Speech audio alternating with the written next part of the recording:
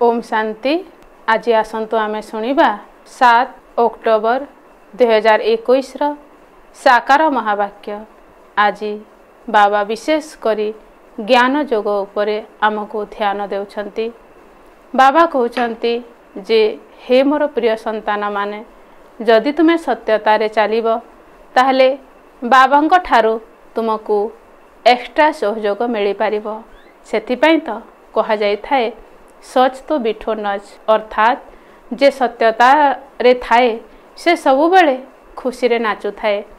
ସେଥିପାଇଁ ଆମେ ସତ୍ୟତାରେ ହିଁ ଚାଲିବା ଉଚିତ। ବାବାଙ୍କ ହାତ ଆମେ ସବୁବେଳେ ଧରିଥିବା। ତାଙ୍କ ହାତ ଯଦି ଆମ ସାଙ୍ଗରେ ରହିବ ତାର ଅର୍ଥ ପରମାତ୍ମାଙ୍କ ସ୍ମୃତିରେ ଯଦି ଆମେ ସବୁବେଳେ ରହିବା ତାହେଲେ ଯେତେ ବି ମଧ୍ୟ ମୁସ୍କିଲାତ ଆସୁ ବା କୌଣସି ବି ମଧ୍ୟ ପରିସ୍ଥିତି ବାଧା ବିଘ୍ନ ଆସୁ ତାହେଲେ ଆମେ ଚିନ୍ତା କରିବା ନାହିଁ ଚିନ୍ତା ଶୂନ୍ୟ ହୋଇଯିବା ନିଶ୍ଚିନ୍ତ ହୋଇଯିବା କାରଣ ପରମାତ୍ମାଙ୍କର ସାଥିର ଆମେ ଅନୁଭବ କରିପାରୁଛେ। ପୁଣି ଆଜି ବାବା କହୁଛନ୍ତି ଦେହ ଅଭିମାନ ହେବାର ମେହନତକୁ ତୁମେ ଏବେ ଛାଡ଼ିଦିଅ। ସତ୍ୟ ପ୍ରଧାନ ହେବା ପାଇଁ ପୁରୁଷାର୍ଥ କର ଏବଂ ଏକମାତ୍ର ବାବାଙ୍କର ହିଁ ସ୍ମୃତିରେ ରୁହ। ଆଉ ପୁଣି ବାବା କହୁଛନ୍ତି ଯେ ହେ ମୋର ପ୍ରିୟ ସନ୍ତାନମାନେ ଆତ୍ମିକ ସନ୍ତାନମାନେ ଏବେ ମୁଖ ଦ୍ୱାରା ଆମେ କୌଣସି ବି ବ୍ୟର୍ଥ କଥା ହେବା ନାହିଁ କେବଳ ଆମେ ଜ୍ଞାନର ଚିନ୍ତନ ମନ୍ଥନ ହିଁ କରିବା। କାରଣ ସମୟ ବହୁତ କମ୍। ଏହି କମ୍ ସମୟରେ ଆମେ ଆଗକୁ କିପରି ଯିବା ଏବଂ ଆମର ସବୁ ପାପକର୍ମକୁ ଆମେ ବିନାଶ କିପରି କରିବା ଘର ଗୃହସ୍ଥରେ ରହି ମଧ୍ୟ କମଳ ପୁଷ୍ପ ତୁଲ୍ୟ ପବିତ୍ର ଜୀବନଯାପନ କରି ଆମେ କିପରି ପରମାତ୍ମାଙ୍କ ଶ୍ରୀମତରେ ଚାଲିବା ତାହା ବାବା ବିସ୍ତାରରେ ବହୁତ ସୁନ୍ଦର ଭାବରେ ବୁଝାଉଛନ୍ତି। ଆସନ୍ତୁ ଆଜି ମୁରଲି ଶୁଣିବା ବିସ୍ତାରରେ। ବାବା କହୁଛନ୍ତି ମିଠେ ବଚ୍ଚେ ଖରାପ କଥା ଶୁଣ ନାହିଁ। କେବଳ ବାବାଙ୍କ ଠାରୁ ହିଁ ଶୁଣିବାକୁ ହେବ। ଗୃହସ୍ଥ ବ୍ୟବହାରରେ ରହି ପଦ୍ମ ଫୁଲ ସଦୃଶ୍ୟ ରହିବାକୁ ହେବ। ଆଜିର ପ୍ରଶ୍ନ ହେଲା କେଉଁ ଖେଳକୁ ଯଥାର୍ଥ ଭାବରେ ଜାଣିଥିବା ପିଲାମାନେ କେବେ ବି ଦ୍ୱନ୍ଦ୍ୱରେ ପଡ଼ିବେ ନାହିଁ? ବାବାଙ୍କ ଉତ୍ତର ହେଲା ଦୁଃଖ ଏବଂ ସୁଖ ଭକ୍ତି ଏବଂ ଜ୍ଞାନର ଯେଉଁ ଖେଳ ଚାଲିଛି ଏହାକୁ ଯଥାର୍ଥ ଭାବରେ ଜାଣିଥିବା ପିଲାମାନେ କେବେ ହେଲେ ଦ୍ୱନ୍ଦ୍ୱରେ ପଡ଼ିନଥାନ୍ତି ତୁମେ ଜାଣିଛ ଭଗବାନ କାହାକୁ ଦୁଃଖ ଦେଇନଥାନ୍ତି ସେ ହେଉଛନ୍ତି ଦୁଃଖ ହର୍ତ୍ତା ସୁଖକର୍ତ୍ତା। ଯେତେବେଳେ ସମସ୍ତେ ଦୁଃଖୀ ହୋଇଯାଉଛନ୍ତି ସେତେବେଳେ ଦୁଃଖରୁ ମୁକ୍ତ କରିବା ପାଇଁ ହିଁ ସେ ଆସୁଛନ୍ତି। ଆଜିର ଗୀତ ହେଲା यह କନ୍ ଆଜ ଆୟା ସବେରେ ସବେରେ ପରମାତ୍ମା ସକାଳୁ ସକାଳୁ ଆମ ମନ ଦ୍ୱାରରେ ଆସୁଛନ୍ତି। ସେଇ ଅନୁଭବ ଆମେ ସକାଳୁ ସକାଳୁ ଉଠି କରିବା ଉଚିତ। ଏଇ ଗୀତ ତ ଦୁନିଆ ବାଲେ ଗାଇଛନ୍ତି କିନ୍ତୁ ବାସ୍ତବରେ ତାର ଅର୍ଥ ଜଣା ନାହିଁ। ତାଙ୍କୁ ସେଥିପାଇଁ ପରମାତ୍ମା ଆସି ଏହାର ଅର୍ଥ ବୁଝାଉଛନ୍ତି। ଓମ୍ ଶାନ୍ତି। ପିଲାମାନେ କ'ଣ ଶୁଣିଲେ? ଭକ୍ତିର ଗୀତ। ଭକ୍ତିକୁ ଇଂରାଜୀରେ ଫିଲୋସଫି କୁହାଯାଏ। ଉପାଧି ମିଳିଥାଏ ଡକ୍ଟର ଫିଲୋସଫି। ଭକ୍ତି ତ ଛୋଟ ବଡ଼ ମନୁଷ୍ୟ ସବୁ ଜାଣିଛନ୍ତି। କାହାକୁ ବି ପଚାର ଈଶ୍ୱର କେଉଁଠାରେ ରହୁଛନ୍ତି? ତେବେ କହିଦେବେ ସର୍ବବ୍ୟାପୀ ଅଟନ୍ତି। ଏହା ବି ଫିଲୋସଫି ହେଲା ନା। ଶାସ୍ତ୍ରର କୌଣସି ବି କଥା ବାବା ଶୁଣାଉନାହାନ୍ତି। କୌଣସି ବି ଭକ୍ତକୁ ଜ୍ଞାନ ସାଗର କୁହାଯିବ ନାହିଁ। ନା ତାଙ୍କ ପାଖରେ ଜ୍ଞାନ ଅଛି ନା ସିଏ ଜ୍ଞାନ ସାଗରଙ୍କ ସନ୍ତାନ ଅଟନ୍ତି। ଜ୍ଞାନ ସାଗର ବାବାଙ୍କୁ କେହି ଜାଣିନାହାନ୍ତି। ନା ସେମାନେ ନିଜକୁ ବାବାଙ୍କର ସନ୍ତାନ ବୋଲି ଭାବିଥାନ୍ତି। ସେମାନେ ସମସ୍ତେ ଭକ୍ତି କରିଥାନ୍ତି ଭଗବାନଙ୍କ ସହିତ ମିଶିବା ପାଇଁ। କିନ୍ତୁ ସେମାନେ ଭଗବାନଙ୍କୁ ଜାଣିନାହାନ୍ତି ତେବେ ଭକ୍ତିରୁ କ'ଣ ଲାଭ ହେବ? ଅନେକଙ୍କୁ ଏହି ଉପାଧି ମିଳୁଥିବ ଡକ୍ଟର ଫିଲୋସଫି। କିନ୍ତୁ ସେମାନଙ୍କ ବୁଦ୍ଧିରେ ତ ଗୋଟିଏ କଥା ହିଁ ରହିଛି ଯେ ଈଶ୍ୱର ସର୍ବବ୍ୟାପୀ ଅଟନ୍ତି।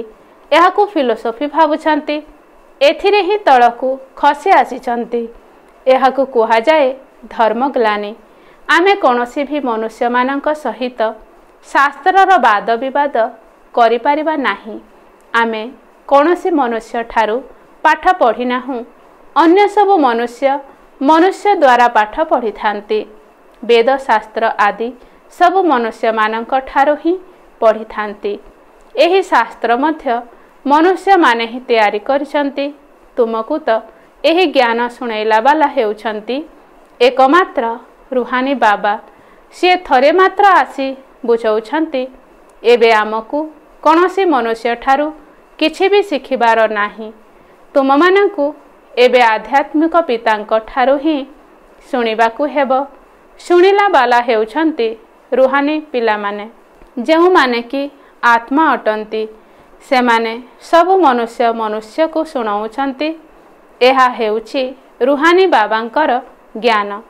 ତାହା ହେଉଛି ମନୁଷ୍ୟମାନଙ୍କର ଜ୍ଞାନ। ଏହି ସାକାର ବାବା ବି ମନୁଷ୍ୟ ଅଟନ୍ତି ନା? କୁହ ରୁହାନୀ ବାବା ଏହାଙ୍କ ଦ୍ୱାରା ଆମକୁ ଜ୍ଞାନ ଶୁଣାଉଛନ୍ତି।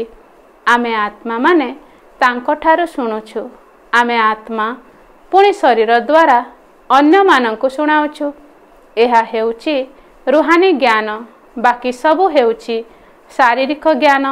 ଭକ୍ତିରେ ଶରୀରର ପୂଜା କରିଥାନ୍ତି ବାବା କହୁଛନ୍ତି ତୁମେମାନେ ନିଜକୁ ମନୁଷ୍ୟ ଅଥବା ଭକ୍ତ ବୋଲି ଭାବ ନାହିଁ ନିଜକୁ ଆତ୍ମା ଭାବି ମୋତେ ମନେ ପକାଅ ତୁମେ ଆତ୍ମାମାନେ ଭାଇ ଭାଇ ଅଟ ଗାୟନ ମଧ୍ୟ ରହିଛି ଆତ୍ମା ପରମାତ୍ମା ଅଲଗ ରହେ ବହୁ କାଲ ସୁନ୍ଦର ମେଲା କରିଦିଆ ଜବ ମିଲା ସଦ୍ଗୁରୁ ଦଲାଲ ତେବେ ଆମକୁ କୌଣସି ବି ମନୁଷ୍ୟଠାରୁ ଜ୍ଞାନ ଶୁଣିବାର ନାହିଁ। କେହି ପ୍ରଶ୍ନ ପଚାରିଲେ ତେବେ କୁହ ଆମ ପାଖରେ କୌଣସି ଶାସ୍ତ୍ରର ଜ୍ଞାନ ନାହିଁ। ଆମେ ତାକୁ ଫିଲୋସଫି କହୁଛୁ। ଅର୍ଥାତ୍ ଭକ୍ତି ମାର୍ଗର ଜ୍ଞାନ ଅଟେ।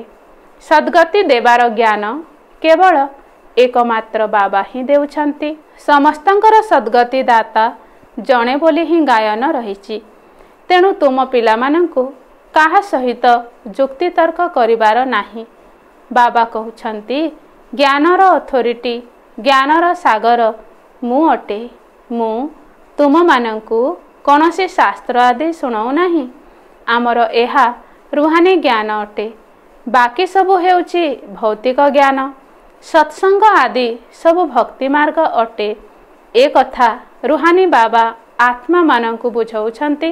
ସେଥିପାଇଁ ଦେହୀ ଅଭିମାନୀ ହେବା ପାଇଁ ପିଲାମାନଙ୍କୁ ପରିଶ୍ରମ କରିବାକୁ ପଡ଼ୁଛି। ଆମେ ଆତ୍ମାମାନେ ବାବାଙ୍କ ଠାରୁ ବର୍ଷା ନେଉଛୁ। ବାବାଙ୍କର ସନ୍ତାନ ନିଶ୍ଚିତ ବାବାଙ୍କର ହିଁ ସିଂହାସନର ଉତ୍ତରାଧିକାରୀ ହେବେ ନା? ଲକ୍ଷ୍ମୀ ନାରାୟଣ ମଧ୍ୟ ଦେହଧାରୀ ଅଟନ୍ତି।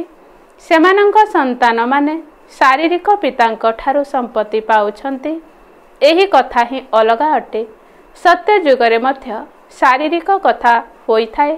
ସେଠାରେ ଏହି କଥା କହିବେ ନାହିଁ ଯେ ରୁହାନୀ ବାବାଙ୍କ ଠାରୁ ବର୍ଷା ମିଳୁଛି। ବର୍ତ୍ତମାନ ଦେହ ଅଭିମାନକୁ ତ୍ୟାଗ କରିବାକୁ ହେବ।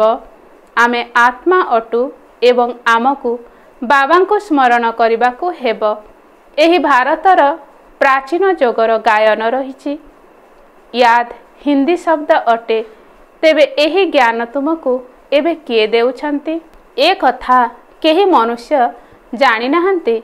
ଜନ୍ମ ଜନ୍ମାନ୍ତର ମନୁଷ୍ୟ ମନୁଷ୍ୟ ସହିତ କଥା ହୋଇ ଆସିଛନ୍ତି। ଏବେ ରୁହାନୀ ବାବା ରୁହାନୀ ପିଲାମାନଙ୍କ ସହିତ କଥା ହେଉଛନ୍ତି। ରୁହାନୀ ବାବା ହିଁ ଏହି ଜ୍ଞାନ ଶୁଣାଉଛନ୍ତି। ସେଥିପାଇଁ ଏହାକୁ ରୁହାନୀ ଆଧ୍ୟାତ୍ମିକ ଜ୍ଞାନ କୁହାଯାଏ। ଗୀତାକୁ ମଧ୍ୟ ସେମାନେ ଆଧ୍ୟାତ୍ମିକ ଜ୍ଞାନ ବୋଲି ବୁଝିଥାନ୍ତି। କିନ୍ତୁ ସେଥିରେ ଦେହଧାରୀ କୃଷ୍ଣଙ୍କର ନାମ ଲେଖିଦେଇଛନ୍ତି ବାବା କହୁଛନ୍ତି କୌଣସି ବି ମନୁଷ୍ୟ ପାଖରେ ଏହି ଜ୍ଞାନ ନଥିବ ଯଦି କେବେ ବି କେହି ତୁମ ସହିତ ତର୍କ କରୁଛନ୍ତି ତେବେ ତାଙ୍କୁ କୁହ ଏହା ହେଉଛି ତୁମର ଭକ୍ତିର ଜ୍ଞାନ। ମନୁଷ୍ୟମାନଙ୍କ ଦ୍ୱାରା ରଚନା କରାଯାଇଥିବା ଶାସ୍ତ୍ରର ଜ୍ଞାନ। ସତ୍ୟ ଜ୍ଞାନ ତ ଏକମାତ୍ର ଜ୍ଞାନର ସାଗର ବାବାଙ୍କ ପାଖରେ ହିଁ ରହିଛି। ସିଏ ନିଜେ ଏହି ଜ୍ଞାନ ଦେଉଛନ୍ତି ତାଙ୍କୁ ପରମ ପିତା ବୋଲି କହୁଛନ୍ତି। ପୂଜା ମଧ୍ୟ ସେହି ନିରାକାରଙ୍କର ହିଁ ହେଉଛି। ଯଦି ଅନ୍ୟ କେଉଁ ନିରାକାରୀମାନଙ୍କର ପୂଜା ହେଉଛି ତେବେ ସେମାନେ ମଧ୍ୟ ତାଙ୍କର ସନ୍ତାନ ହିଁ ଅଟନ୍ତି। ମାଟିର ଶାଲିଗ୍ରାମ ତିଆରି କରି ପୂଜା କରୁଛନ୍ତି ରୁଦ୍ର ଯଜ୍ଞ ରଚନା କରୁଛନ୍ତି। ତୁମେମାନେ ଜାଣିଛ ଯେ ସେହି ପରମପିତା ପରମାତ୍ମା ନିରାକାରୀ ଦୁନିଆରେ ରହିଥାନ୍ତି। ଆମେ ଆତ୍ମାମାନେ ମଧ୍ୟ ସେଠାରେ ରହିଥାଉ। ସେହି ଜ୍ଞାନର ସାଗର ଆସି ସମସ୍ତଙ୍କୁ ଜ୍ଞାନ ଶୁଣାଇ ସଦ୍ଗତି କରୁଛନ୍ତି। ସିଏ ହେଉଛନ୍ତି ଉର୍ଦ୍ଧ୍ୱରୁ ଉର୍ଦ୍ଧ୍ୱରେ ରହିଲା ବାଲା ପରମପିତା ପରମାତ୍ମା। ସବୁ ଆତ୍ମା ଭାଇମାନଙ୍କୁ ଅଭିନୟ ମିଳିଛି। ଯେଉଁମାନେ ପୁଣି ଶରୀର ଧାରଣ କରି ଭାଇ ଭଉଣୀ ହେଉଛନ୍ତି। ବାକି ଆତ୍ମାମାନେ ଜଣେ ପିତାଙ୍କର ସନ୍ତାନ ଅଟନ୍ତି। ଆତ୍ମା ଯେବେ ଶରୀର ଧାରଣ କରିଥାଏ ତେବେ ସ୍ୱର୍ଗରେ ସୁଖ ନର୍କରେ ଦୁଃଖ ପାଇଥାଏ। ଏହା କାହିଁକି ହୋଇଥାଏ? ବୁଝାଯାଉଛି ଜ୍ଞାନ ଏବଂ ଭକ୍ତି। ତାହା ହେଉଛି ଦିନ ଏହା ହେଉଛି ରାତି। ଜ୍ଞାନ ଦ୍ୱାରା ସୁଖ ଭକ୍ତି ଦ୍ୱାରା ଦୁଃଖ ମିଳିଥାଏ। ଏହିପରି ଖେଳ ତିଆରି ହୋଇଛି। ଏହିପରି ନୁହେଁ ଯେ ଦୁଃଖ ସୁଖ ସବୁ ଭଗବାନ ହିଁ ରଚନା କରୁଛନ୍ତି। ଭଗବାନଙ୍କୁ ସେତେବେଳେ ହିଁ ଡାକିଥାନ୍ତି ଯେବେ ଦୁଃଖୀ ହୋଇଥାନ୍ତି। ଭାବିଥାନ୍ତି ଯେ ସିଏ ସୁଖ ଦେଲାବାଲା ଅଟନ୍ତି। ଯେବେ ସୁଖର ସମୟ ଶେଷ ହୋଇଥାଏ ପୁଣି ରାବଣ ପାଞ୍ଚ ବିକାର ଯୋଗୁଁ ଦୁଃଖ ଆରମ୍ଭ ହୋଇଥାଏ। ଏହା ହିଁ ଖେଳ ଅଟେ ଯାହାକୁ ଯଥାର୍ଥ ରୀତିରେ ବୁଝିବାକୁ ହେବ। ଏହାକୁ ହିଁ ରୁହାନୀ ଜ୍ଞାନ କୁହାଯାଉଛି। ବାକି ସବୁ ଭୌତିକ ଜ୍ଞାନ ତାକୁ ଆମେ ଶୁଣିବାକୁ ଚାହୁଁନାହୁଁ। ଆମକୁ ହୁକୁମ ମିଳିଛି କେବଳ ନିରାକାର ବାବାଙ୍କ ଠାରୁ ହିଁ ଶୁଣ। ବାବା କହୁଛନ୍ତି ଖରାପ କଥା ଶୁଣ ନାହିଁ ଖରାପ କଥା ଦେଖ ନାହିଁ ଖରାପ କଥା ଭାବ ନାହିଁ ଖରାପ କର୍ମ କର ନାହିଁ। ଆମେ ଏକମାତ୍ର ବାବାଙ୍କ ଠାରୁ ଶୁଣୁଛୁ। ତୁମେ ମନୁଷ୍ୟମାନଙ୍କ ଠାରୁ ଶୁଣୁଛ। ଏଥିରେ ରାତି ଦିନର ଫରକ ରହିଛି। ବଡ଼ ବଡ଼ ବିଦ୍ୱାନମାନେ ଶାସ୍ତ୍ର ଆଦି ପଢ଼ିଥାନ୍ତି। ଶାସ୍ତ୍ର ତ ମୁଁ ମଧ୍ୟ ବହୁତ ପଢ଼ିଛି। ଏବେ ଭଗବାନ କହୁଛନ୍ତି ତୁମେ ଗୁରୁ ବହୁତ କରିଛ। ଏବେ ସେମାନଙ୍କୁ ଛାଡ଼। ମୁଁ ଯାହା ଶୁଣାଉଛି ତାହା ଶୁଣ। ଭଗବାନ ହେଉଛନ୍ତି ନିରାକାର। ତାଙ୍କର ନାମ ହେଉଛି ଶିବ। ଏବେ ଆମେ ତାଙ୍କଠାରୁ ଶୁଣୁଛୁ ବାବା ନିଜେ ନିଜର ପରିଚୟ ଏବଂ ନିଜ ରଚନାର ଆଦି ମଧ୍ୟ ଅନ୍ତର ପରିଚୟ ଦେଉଛନ୍ତି। ପୁଣି ଆମେ ଆପଣଙ୍କ ଠାରୁ ଶାସ୍ତ୍ର ଆଦିର କଥା ଶୁଣିବୁ କାହିଁକି? ଆମେ ଆପଣଙ୍କୁ ରୁହାନୀ ଜ୍ଞାନ ଶୁଣାଉଛୁ। ଶୁଣିବାର ଅଛି ତ ଶୁଣ। ଏଥିରେ ଦ୍ୱନ୍ଦ୍ୱରେ ପଡ଼ିବାର ତ କୌଣସି ହିଁ କଥା ନାହିଁ। ସାରା ଦୁନିଆ ଗୋଟିଏ ପଟେ ରହିଛି ଏବଂ ତୁମର ସଂଖ୍ୟା କେତେ କମ୍। ବାବା ଏବେ କହୁଛନ୍ତି ମୋତେ ମନେ ପକାଅ ତେବେ ତୁମ ଉପରେ ଯେଉଁ ପାପର ବୋଝ ରହିଛି ତାହା ଓହ୍ଲାଇଯିବ ଏବଂ ତୁମେ ପବିତ୍ର ହୋଇଯିବ। ଯେଉଁମାନେ ପବିତ୍ର ହେବେ ସେମାନେ ପବିତ୍ର ଦୁନିଆର ମାଲିକ ହେବେ। ଏବେ ପୁରାଣ ଦୁନିଆ ଏବେ ପୁରୁଣା ଦୁନିଆ ବଦଳିବାର ଅଛି। କଳିଯୁଗ ପରେ ସତ୍ୟଯୁଗ ଆସିବ। ସତ୍ୟଯୁଗ ହେଲା ପବିତ୍ର ଦୁନିଆ। କଳିଯୁଗରେ ହିଁ ମୋତେ ଡାକୁଛନ୍ତି ଯେ ଆସି ପବିତ୍ର ଦୁନିଆ ତିଆରି କର। ତେଣୁ ମୁଁ ଏବେ ଆସି ମୋତେ ମନେ ପକାଅ ଏବେ ଦୁନିଆ ବଦଳୁଛି। ଏହା ଅନ୍ତିମ ଜନ୍ମ ଅଟେ। ଏହି ପୁରୁଣା ଦୁନିଆରେ ଆସୁରୀ ରାଜ୍ୟ ସମାପ୍ତ ହୋଇ ରାମ ରାଜ୍ୟ ସ୍ଥାପନ ହେଉଛି। ସେଥିପାଇଁ ଏବେ ଏହି ଅନ୍ତିମ ଜନ୍ମ ଗୃହସ୍ଥ ବ୍ୟବହାରରେ ରହି କମଳ ପୁଷ୍ପ ସମାନ ପବିତ୍ର ହୁଅ। ଏହା ବିଷୟ ସାଗର ଅଟେ ନା? ପଦ୍ମ ଫୁଲ ପାଣି ଉପରେ ରହିଥାଏ। ତେଣୁ ଏବେ ତୁମେମାନେ ଗୃହସ୍ଥ ବ୍ୟବହାରରେ ରହି ପଦ୍ମ ଫୁଲ ସମାନ ପବିତ୍ର ହୁଅ। ତୁମେମାନେ ଜାଣିଛ ଯେ ଆମେ ରାଜତ୍ୱ ସ୍ଥାପନ କରୁଛୁ। ଏବେ ସାରା ଦୁନିଆ ବଦଳିଯିବ। ଧର୍ମ ସ୍ଥାପକମାନେ କେବଳ ନିଜ ନିଜର ଧର୍ମ ସ୍ଥାପନ କରିଥାନ୍ତି। ପ୍ରଥମେ ସେମାନେ ପବିତ୍ର ହୋଇଥାନ୍ତି ପୁଣି ପତିତ ହୋଇଥାନ୍ତି। ସଦ୍ଗୁରୁ ତ ଏକମାତ୍ର ହିଁ ସଦ୍ଗତି ଦାତା ଅଟନ୍ତି। ମନୁଷ୍ୟମାନେ ସେତେବେଳେ ଗୁରୁ କରିଥାନ୍ତି ଯେତେବେଳେ ସଦ୍ଗତିରେ ଯିବାକୁ ଚାହିଁଥାନ୍ତି। ଯେବେ ପାପ ବହୁତ ହୋଇଥାଏ ତେବେ ରୁହାନୀ ବାବା ଜ୍ଞାନ ଶୁଣାଇଥାନ୍ତି। ଭକ୍ତିର ଫଳ ସ୍ୱରୂପ ଜ୍ଞାନ ତୁମକୁ ଭଗବାନଙ୍କ ଠାରୁ ମିଳିଥାଏ। ଭଗବାନ କୌଣସି ଭକ୍ତି ଶିଖାଇ ନାହାନ୍ତି। ସିଏ ତ ଜ୍ଞାନ ଦେଉଛନ୍ତି। କହୁଛନ୍ତି ମୋତେ ମନେ ପକାଅ। ତେବେ ତୁମର ବିକର୍ମ ବିନାଶ ହେବ ଏବଂ ପବିତ୍ର ହେବାର ଆଉ କିଛି ରାସ୍ତା ନାହିଁ। ନୂଆ ଦୁନିଆରେ ସମସ୍ତେ ସ୍ୱର୍ଗବାସୀ ଥିଲେ। ଏବେ ପୁରୁଣା ଦୁନିଆରେ ସମସ୍ତେ ନରକବାସୀ ହୋଇଯାଇଛନ୍ତି। ସେଥିପାଇଁ ବାବା କହୁଛନ୍ତି ମୁଁ ସମସ୍ତଙ୍କର ଉଦ୍ଧାର କରିବାକୁ ଆସିଛି। ମୁଁ ହିଁ ଆସି ତୁମମାନଙ୍କୁ ରୁହାନୀ ଜ୍ଞାନ ଦେଉଛି। ବାବା ନିଜର ପରିଚୟ ଦେଉଛନ୍ତି। ମୁଁ ତୁମମାନଙ୍କର ପିତା ଅଟେ। ବର୍ତ୍ତମାନ ଏହା ହେଉଛି ନର୍କ। ନୂଆ ଦୁନିଆକୁ ସ୍ୱର୍ଗ କୁହାଯାଏ। ଏପରି କିଭଳି କହିବା ଯେ ଏହିଠାରେ ହିଁ ସ୍ୱର୍ଗ ନର୍କ ରହିଛି। ଯାହାଙ୍କ ପାଖରେ ବହୁତ ଧନ ଅଛି ସେ ସ୍ୱର୍ଗରେ ଅଛନ୍ତି। ସ୍ୱର୍ଗ ତ ନୂଆ ଦୁନିଆରେ ହୋଇଥାଏ। ଏଠାରେ ସ୍ୱର୍ଗ କେଉଁଠୁ ଆସିବ? ସେଥିପାଇଁ ଆମେ କୌଣସି ମନୁଷ୍ୟମାନଙ୍କର କଥା ଶୁଣି ନଥାଉ। ବାବା କହୁଛନ୍ତି ଯଦି ତୁମକୁ ତୁମ ପ୍ରଧାନରୁ ସତ ପ୍ରଧାନ ହେବାର ଅଛି ତେବେ ମୋତେ ମନେ ପକାଅ। ସାରା ଦିନ ତୁମମାନଙ୍କ ବୁଦ୍ଧିରେ ଏହି ଜ୍ଞାନ ରହିବା ଦରକାର। ଆଚ୍ଛା ମିଠା ମିଠା ଶିକିଲଧେ ସନ୍ତାନମାନଙ୍କ ପ୍ରତି। ମାତା ପିତା ବାପ ଦାଦାଙ୍କର ମଧୁର ସ୍ନେହ ଭରା ସ୍ମୃତି ଏବଂ ସୁପ୍ରଭାତ। ଆତ୍ମିକ ପିତାଙ୍କର ଆତ୍ମିକ ସନ୍ତାନମାନଙ୍କୁ ନମସ୍ତେ। ଆତ୍ମିକ ସନ୍ତାନମାନଙ୍କର ମଧ୍ୟ ଆତ୍ମିକ ପିତାଙ୍କୁ ସ୍ନେହଭରା ସ୍ମୃତି ଏବଂ ସୁପ୍ରଭାତ ଏବଂ ନମସ୍ତେ ନମସ୍ତେ ନମସ୍ତେ। ଧାରଣା ପାଇଁ ମୁଖ୍ୟ ସାର ଏକ ନମ୍ବର ପଏଣ୍ଟ। ଏକମାତ୍ର ବାବାଙ୍କ ଠାରୁ ହିଁ ଆତ୍ମିକ ଜ୍ଞାନ ଶୁଣିବାର ଅଛି। କାହା ସହିତ ଅନ୍ୟ କୌଣସି କଥାର ବାଦ ବିବାଦ ଅର୍ଥାତ୍ ଯୁକ୍ତିତର୍କ କରିବାର ନାହିଁ। ଦୁଇ ନମ୍ବର ପଏଣ୍ଟ ହେଲା ଦେହୀ ଅଭିମାନୀ ହେବାର ମେହନତ କରିବାକୁ ହେବ ସତ ପ୍ରଧାନ ହେବା ପାଇଁ ଏକମାତ୍ର ବାବାଙ୍କ ସ୍ମୃତିରେ ହିଁ ରହିବାକୁ ହେବ। ଆଜିର ବରଦାନ ହେଲା ବାବାଙ୍କର ହାତ ଏବଂ ସଙ୍ଗର ସ୍ମୃତି ଦ୍ୱାରା ମୁସ୍କିଲକୁ ସହଜ କରୁଥିବା ଚିନ୍ତାଶୂନ୍ୟ ବା ନିଶ୍ଚିନ୍ତ ହୁଅ ବରଦାନର ବିସ୍ତାର ହେଲା। ଯେପରି କାହାର ହାତ ଯଦି କୌଣସି ବଡ଼ ଲୋକ ଅର୍ଥାତ୍ ଶକ୍ତିଶାଳୀ ଲୋକ ହାତରେ ରହିଥିବ ତେବେ ତାର ସ୍ଥିତି ନିଶ୍ଚିତ ରହିଥାଏ। ସେହିଭଳି ପ୍ରତ୍ୟେକ କର୍ମରେ ଏହା ହିଁ ଚିନ୍ତା କରିବା ଦରକାର ଯେ ବାପ ଦାଦା ମୋ ସାଥିରେ ଅଛନ୍ତି। ଏବଂ ମୋର ଏହି ଅଲୌକିକ ଜୀବନ ରୂପୀ ହାତ ତାଙ୍କ ହାତରେ ଅଛି। ଅର୍ଥାତ୍ ମୋ ଜୀବନ ତାଙ୍କୁ ସମର୍ପିତ ଅଟେ। ତେବେ ସବୁ ଦାୟିତ୍ୱ ତାଙ୍କର ହିଁ ଅଟେ। ତେଣୁ ସବୁ ବୋଝ ବାବାଙ୍କ ଉପରେ ରଖି ନିଜକୁ ହାଲୁକା କରିଦିଅ। ବୋଝ ଉତାରିବାର ବା ମୁସ୍କିଲକୁ ସହଜ କରିବାର ଆଧାର ହେଲା ବାବାଙ୍କର ହାତ ଏବଂ ସଙ୍ଗ। ଆଜିର ସ୍ଲୋଗାନ ହେଲା ଯଦି ପୁରୁଷାର୍ଥରେ ସତ୍ୟତା ଥିବ ତେବେ ବାପ ଦାଦାଙ୍କର ଏକ୍ସଟ୍ରା ଅର୍ଥାତ୍ ଅତିରିକ୍ତ ସହଯୋଗ ଅନୁଭବ କରିବ। ଓମ୍ ଶାନ୍ତି। ଆଜି ପୁଣି ଆଜି ଆମେ ଶୁଣିବା ମାତେଶ୍ୱରୀ ମମ୍ମାଙ୍କର ଅମୂଲ୍ୟ ମହାବାକ୍ୟ।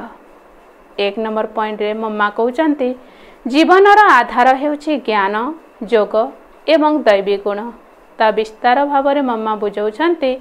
ଆମର ପୂର୍ଣ୍ଣ ବିଶ୍ୱାସ ଅଛି ଯେ ପରମପିତା ପରମାତ୍ମାଙ୍କ ଦ୍ୱାରା ଆମକୁ ଜ୍ଞାନ ପ୍ରାପ୍ତ ହେଉଛି। ଏହି ଜ୍ଞାନ ମାର୍ଗରେ ମୁଖ୍ୟତଃ ତିନୋଟି ବିଷୟକୁ ନେଇ ପୁରା ପୁରୁଷାର୍ଥ କରିବାର ଅଛି। ପ୍ରଥମତଃ ଯୋଗ ଅର୍ଥାତ୍ ନିରନ୍ତର ଈଶ୍ୱରୀୟ ସ୍ମୃତି ଯାହାଦ୍ୱାରା ବିକର୍ମର ବିନାଶ ହୋଇଥାଏ। ଦ୍ୱିତୀୟତଃ ଯାହାଦ୍ୱାରା ସମସ୍ତ ବ୍ରହ୍ମାଣ୍ଡ ଓ ସୃଷ୍ଟିର ଆଦି ମଧ୍ୟ ଅନ୍ତର ଜ୍ଞାନ ପ୍ରାପ୍ତ ହୋଇଥାଏ। ଏହି ଜ୍ଞାନ ଆଧାରରେ ଆମ ଜୀବନରେ ପ୍ରତ୍ୟକ୍ଷ ରୂପେ ପରିବର୍ତ୍ତନ ଆସିପାରିବ ଏବଂ ଆମେ ଉତ୍ତମ ଭବିଷ୍ୟ ଗଢ଼ିପାରିବା ତୃତୀୟ କଥା ଯୋଗ୍ୟତା। ତେଣୁ ଆମକୁ ସର୍ବଗୁଣ ସମ୍ପନ୍ନ ଷୋହଳକଳା ସମ୍ପୂର୍ଣ୍ଣ ଅବଶ୍ୟ ହେବାକୁ ପଡ଼ିବ। ତେବେ ହିଁ ଆମେ ଦେବତା ହୋଇପାରିବା ତେଣୁ ନିଜେ ନିଜେ ଚାଲିବା ବୁଲିବା ଖାଇବା ପିଇବା ସମୟରେ ମଧ୍ୟ ଏହି ବିଷୟରେ ଧ୍ୟାନ ରଖିବା ଜରୁରୀ। ଏହି ଗୋଟିଏ ଜନ୍ମରେ ହିଁ ଜ୍ଞାନ ବଳ ଯୋଗ ବଳ ଏବଂ ଦୈବୀ ଗୁଣର ଧାରଣା କରାଯାଇଥାଏ। ତିନୋଟି ଯାକ କଥା ପରସ୍ପର ପରିପୂରକ। ଜ୍ଞାନ ବିନା ଯୋଗ ଲାଗିବ ନାହିଁ ଏବଂ ଯୋଗ ବିନା ଦୈବୀ ଗୁଣର ଧାରଣା ହୋଇପାରିବ ନାହିଁ। ଏହି ତିନୋଟି ବିଷୟ ଉପରେ ସାରା ଜୀବନ ଆଧାରିତ ହେଲେ ହିଁ ବିକର୍ମ ବିନାଶ ହୋଇ ଶ୍ରେଷ୍ଠ କର୍ମ ହୋଇପାରିବ। ଏହାକୁ ହିଁ ଈଶ୍ୱରୀୟ ଜୀବନ କୁହାଯାଏ। ଦୁଇ ନମ୍ବରରେ ମମା ବୁଝାଉଛନ୍ତି ଭାରତର ପ୍ରାଚୀନ ଯୋଗ ପରମାତ୍ମାଙ୍କ ଦ୍ୱାରା ଶିକ୍ଷା ଦିଆଯାଇଥାଏ। ବିସ୍ତାରରେ ମମା ବୁଝାଉଛନ୍ତି ଆମର ଏହି ଈଶ୍ୱରୀୟ ଯୋଗ ଭାରତର ପ୍ରାଚୀନ ଯୋଗ ନାମରେ ପ୍ରସିଦ୍ଧ। ଏହାକୁ ଅବିନାଶୀ ଯୋଗ କୁହାଯିବାର କାରଣ ଏହା ପରମାତ୍ମାଙ୍କ ଦ୍ୱାରା ଶିକ୍ଷା ଦିଆଯାଇଛି।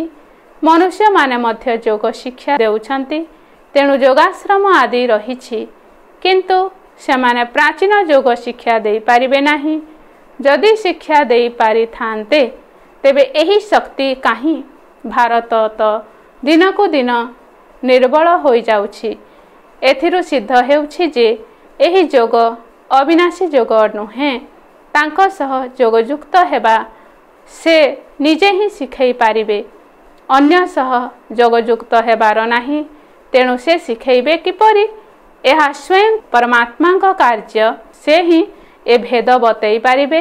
ଏହା ତ ଆମେ ଜାଣୁଛେ ଯେ ପରମାତ୍ମା ସ୍ୱୟଂ ଯୋଗ ଶିକ୍ଷା ଦେଇ ସୂର୍ଯ୍ୟବଂଶୀ ଚନ୍ଦ୍ରବଂଶୀ ଦେବୀ ରାଜ୍ୟ ସ୍ଥାପନ କରୁଛନ୍ତି। ପରମାତ୍ମା ପ୍ରତି କଳ୍ପରେ ଆମକୁ ପ୍ରାଚୀନ ଯୋଗ ଶିକ୍ଷା ଦେଉଛନ୍ତି। କହୁଛନ୍ତି ହେ ଆତ୍ମା ମୋ ସହ ନିରନ୍ତର ଯୋଗଯୁକ୍ତ ହୁଅ ତେବେ ତୁମର ପାପ ନାଶ ହୋଇଯିବ। ଆଚ୍ଛା ଓମ୍ ଶାନ୍ତି।